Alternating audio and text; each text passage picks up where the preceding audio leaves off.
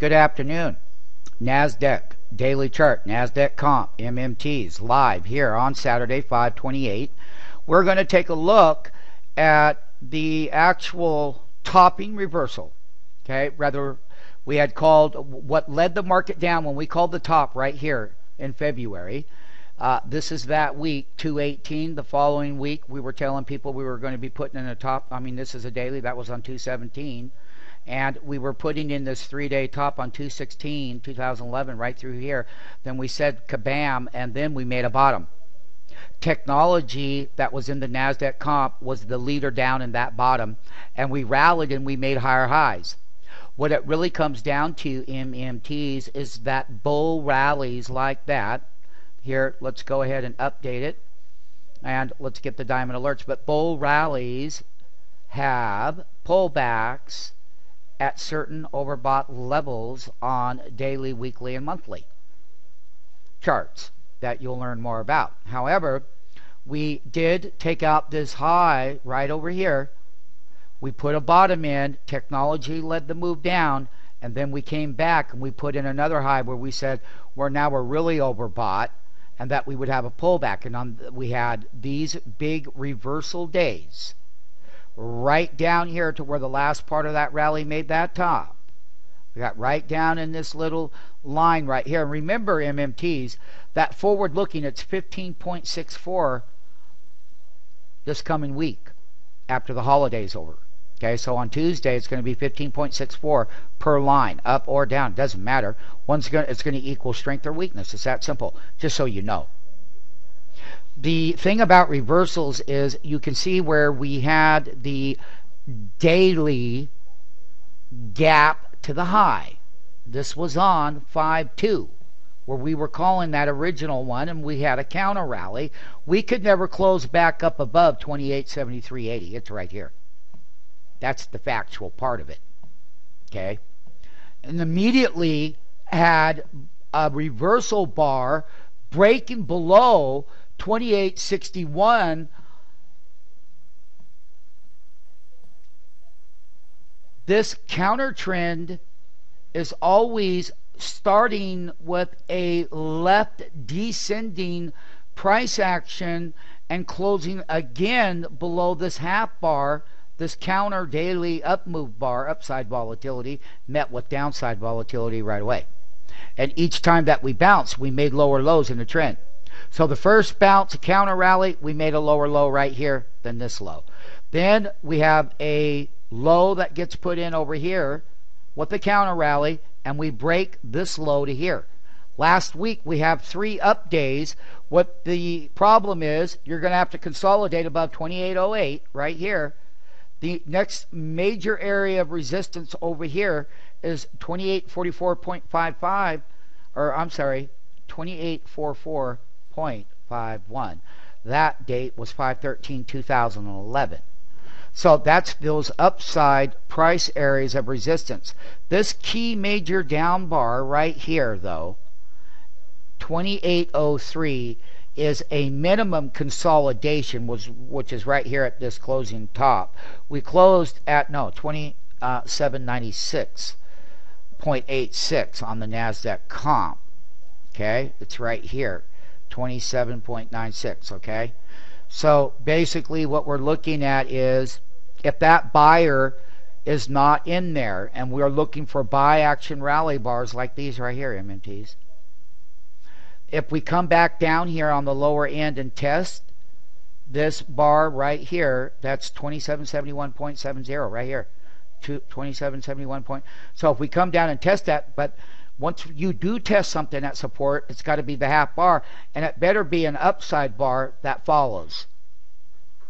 Because that would be the commitment of the buyer is stronger than the seller, MMTs. And MMTs, it will naturally show up here in your SMF MMT platform. Okay?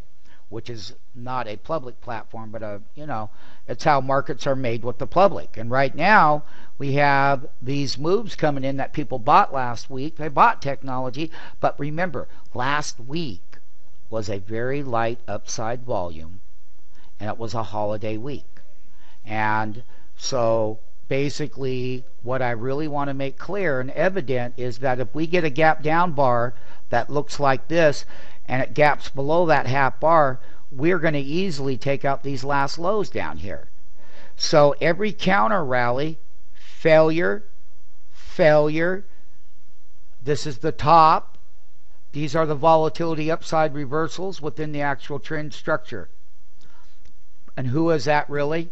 That's the buyers and the sellers in the NASDAQ comp buying the broader market. There was some buying going into the end of the month called portfolio dressing. And so there were some people who wanted to buy the end of the calendar month of May going into June. And that's, you know, mutual fund buyers and, you know, all those people out there, okay? So at the end of the month, that's what happened. If I break below half of this bar right here at 2721.91. That's where that gap bar was.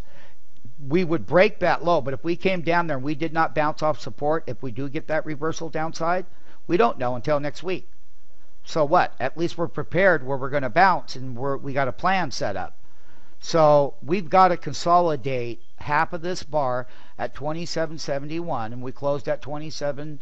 Uh, uh, we closed at 2782.92 on that three minute uh, last bar on 526 that was a bar that that was that closing bar there. 2782 that's going to be 92 so there's uh, 92 and 86 and there's also going to be that 2761 this bar is the key mmt if we come down, we have to bounce like a rocket. If we don't, and we get a gap down bar, and if we take out this half bar right here, this half bar here is going to be the, the really final bar, and that's 27, uh, 55, 62. That would be a reversal. That would be a, a, a lower support level that we could test, and if we do, you better ha- we better see the buyers would really have to commit at that level and really have to bounce. If we have a sell through, we're short. If we have a bounce, we're long in that case scenario. If we come up here and hit one of these half bars up here at 28.44.51 and it fails, we would look at shorting equities again.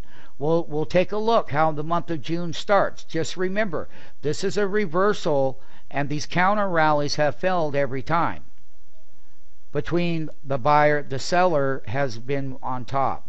The buyer comes in, but then once they're gone, we make lower lows.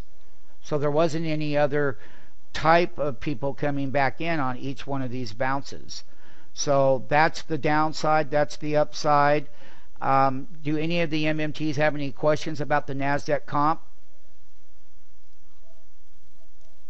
Just remember that these reversals are what they are, and bottoms get put in like it did here. We made so this was a bull rally with a bull reversal to another bull rally high, and right now we're in another bull yearly reversal. But let us not forget, it's June of 2011.